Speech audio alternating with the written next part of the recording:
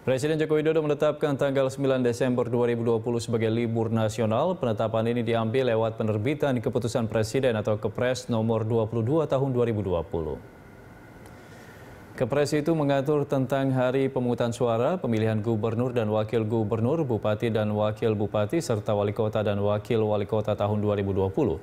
Kepres ini ditetap, ditetapkan Presiden pada tanggal 27 November 2020 lalu dalam kepres ini dijelaskan salah satu pertimbangan menjadikan tanggal 9 Desember sebagai libur nasional adalah sebagai pemberian kesempatan bagi warga negara dalam menggunakan hak pilihnya.